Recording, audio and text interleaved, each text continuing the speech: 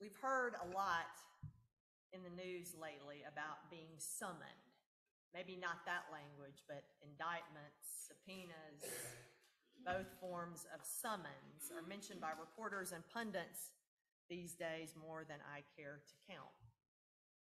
We don't use the word summon much anymore unless we are referring to legal proceedings, but something about that phrase, you've been summoned, kept popping up into my head as I was reading these texts today. Summoned feels like a stronger word to me than called, more heft to it, likely because of the legal connotations. When we are summoned to court for whatever reason, we go. We may try to find some way around it, but legally, we have to show up. It's not optional. These stories from our scriptures today describe what seemed to me to be a summons. In these texts for both Moses and Jesus, a summons is involved with an implied expectation of obedience that doesn't really seem optional. Now, it's not a coercive obedience, though, it's a liberating. The evidence is clear here and in so many other of our texts in Scripture that an encounter with the divine changes things. It reshapes us. It upends our priorities. It liberates us. And that very liberation makes demands upon us. Seems that it is only in our obedience to God's way, that we are truly free. And if that seems paradoxical, you're right. It absolutely is. In the Exodus reading, we meet Moses, who is a fugitive. He has fled Egypt after murdering an Egyptian or beating a Hebrew slave. Moses ends up in the land of Midian. He marries Zipporah, the daughter of the priest Jethro, and he becomes a shepherd. As our reading begins, it's just an ordinary day for Moses. He's led his flock beyond the wilderness to Horeb, the mountain of God. The Hebrew meaning for Horeb is wasteland. He's out in a desolate, dried up spot. I don't know if they have tumbleweed in that part of the world. But in my mind's eye, that's what I see. I see tumbleweed rolling by over a dusty landscape with Moses sitting on a rock, maybe playing the Middle Eastern version of a harmonica. A sheep wander around looking for scrub to eat.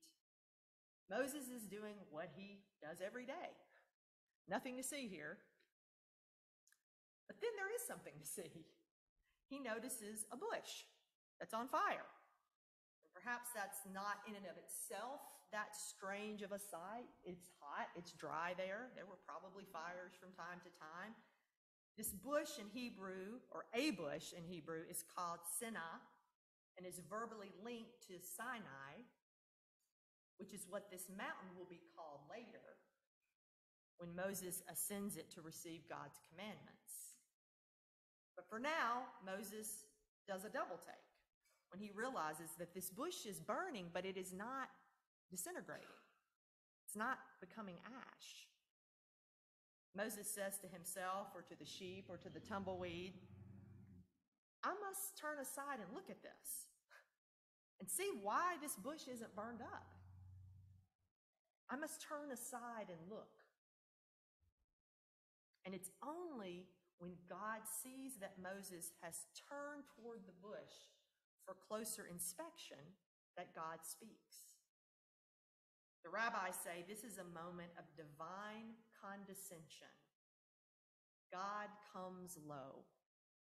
God makes God's self lowly, entering into the natural world, which now becomes God's instrument for a genuine encounter with Moses. First, before the encounter can occur, Moses must turn aside and look. He has to notice. He has to be paying attention. Curiosity leads to the call. God calls to Moses out of that bush, and Moses is afraid, afraid to look at God. This is not some disembodied voice, but some sort of an appearance of the divine. God could be seen and heard. Initially, Moses is hiding his face for fear he will die if he looks upon God's presence, but eventually begins to engage in a conversation. Now, we know what led Moses to this moment. We know his history that he's on the lam from the law. There's no- nothing particularly special about this day. His sheep just needed a place to graze, and so out he went. But what about God? What has led God to this encounter with Moses? And we know that too. God's people are suffering. God's people are suffering. I've observed the misery of my people who are in Egypt. I've heard their cry on account of their taskmasters. Indeed, I know, God says, I know their sufferings, and I've come down to deliver them and bring them to a land flowing with milk and honey. God's motivation for this divine encounter is the pain of God's people. God's heart is breaking. And God must act, not just to deliver the people from oppression, but into new possibilities for now and into the future. There is a catch. God says, So come, Moses, I will send you to bring my people out of Egypt. All of this sounded great to Moses until this moment. He has officially been summoned. So much for an ordinary day. And just as God works through that bush to get Moses' attention, God will now work through Moses to get Pharaoh's attention and to accomplish God's people's deliverance. But as we might expect, Moses is not convinced, and between his nerves and probably trying to buy some time so he can come up with an exit strategy, he begins to pepper God with questions, and they start going back and forth. Moses, but who am I to do this? God, I will be with you. Moses, but if I do this, who do I say has sent me? God, the God of your ancestors. Moses, but what if they ask your name? God, tell them I am who I am. I am has sent me to you. So let's recap. Moses is a fugitive from justice in Egypt, who we're later told just in a couple of verses that he's slow of speech and slow of tongue, which perhaps mean he has a stutter or some other speech issue. Despite Moses' lack of eloquence and his fugitive status, he is summoned by the God of all creation from a bush that doesn't burn in the middle of a wasteland to go back to the very place where he is a wanted man and speak on God's behalf to the Pharaoh, the head of the Egyptian empire, who, by the way, is not a very nice person and who has enslaved God's people for decades. And Moses is to convince Pharaoh to let God's people go. That's God's plan.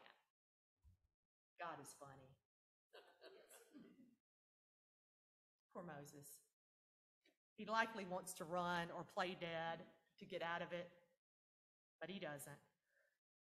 He's been summoned by the living God, a God who is not removed from us, but who bends low to engage with us, to hear our cries, to deliver us from our pain. And when we encounter this God, I am Yahweh, we tremble, we protest, perhaps we hide our face. But in the end, we only find true freedom by heeding that summons. Jesus knows about heeding a summons. His will cost him his life. I think we sometimes maybe want to make it easier on ourselves what happened to Jesus. To say, well, you know, he was born to die for our sins. Somehow making his brutal execution at a young age easier to take. But given that Jesus was a human being, flesh and bone, just like us, with free will, with agency, I believe in theory he could have walked away. Just as in theory Moses could have walked away. In our gospel, when Peter says to Jesus, God forbid that you will suffer at the hands of the establishment, uh uh that you'll be killed? No. You're the Messiah. I just told you you're the Messiah. Jesus' sharp response to Peter likely comes from the deep conflict going on inside of him. His own temptation to agree with Peter. Get behind me, Satan, tempter. Don't cause me to stumble, to question what I have been called to do. But if you think about it, Jesus isn't summoned by God to die. Jesus is summoned by God to live, to truly which means living God's way in the world. A way of mercy, a way of freedom, of compassion, of inclusion, of radical hospitality, to see every single person as God does, to turn upside down the world so that we can finally live right side up in it. That is the summons to which Jesus responds a summons not to die, a summons to live. But we know in our beautiful but broken world, such a summons too often may lead to physical death. Because we in the world have a way, don't we? We have a way of choosing the ways of death over and over and over, clinging to our fear, our power, our position, our own comfort self preservation, violence. Rejecting the true life God is calling each of us to. The true life God gave to us in Jesus. Jesus tells us plainly if you want to follow me, my way, my truth, my life, it's not going to be comfortable. Deny yourself take up your own cross. For those who want to stay safe and never risk on behalf of another, those who cling to the way things are, even as people are mistreated and abused, they will lose the true and authentic life God longs for all of us to have. But those who live into my way, of being in the world who are ready to let go of their comfort, their safety, yes, maybe even their physical life. Those who trust even as they tremble, who take steps, big or small, suffering, who lead with love every single time, no matter what the cost they will truly live. Ain't no grave gonna hold them down. My dear friend, Charlie Strobel, died on August 6th at 80 years old. I've known Charlie for 25 plus years. Many of you may know Charlie or know of Charlie, who founded Room in the Inn which serves those living on the streets to not only provide shelter, as Charlie would say, but to provide community and belonging for everyone. Charlie and his three siblings were raised in Nashville, by his mother and his great aunts after his dad died when Charlie was only four years old. In 1970, he became a priest, and in 1977, he began serving at Holy Name Catholic Church in East Nashville. That was a location at that time where many of the city's unhoused would hang out and gather, and it still is.